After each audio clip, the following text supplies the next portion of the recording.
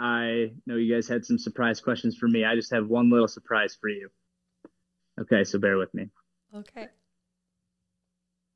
I'm on the Gold Ivy podcast. They're not owned by Comcast. This is full original OG with the broadcast. BA, well, the initials, they say it all. Won't curse to elaborate. PG with the ball. Competition is sweet, but it's people that make the day, the gold standard type. I'd like to finish and say thank you. Thank you a million times in one for letting me share my story. I'm unleashed and ready to run.